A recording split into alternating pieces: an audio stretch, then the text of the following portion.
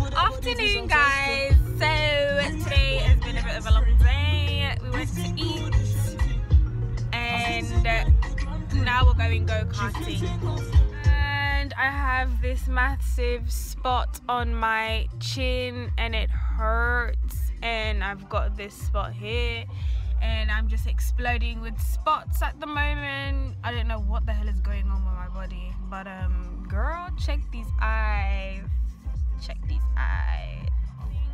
last time I went go-karting I think I was like 14 and it was in like a children's theme park in Belgium.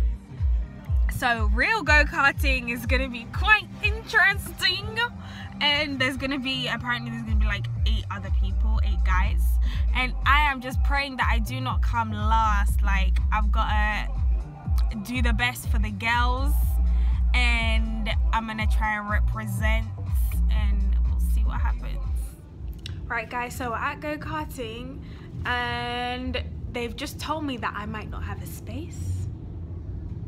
So I came all the way here to maybe not be able to go-kart but then maybe I can.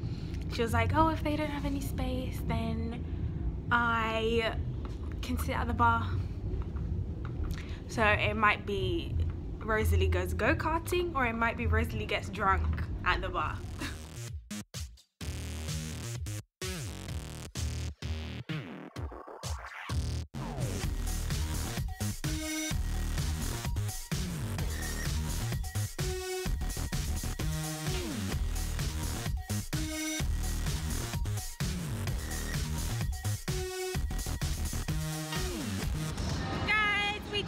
finished the warm-up and I beat Jacob.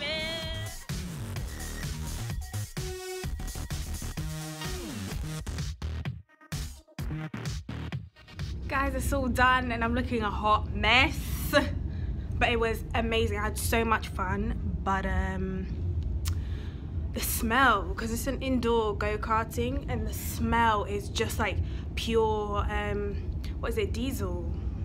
And it's way too much. Way, way, way too much. So I got a bit of a headache, but I'm just getting changed and ready to go.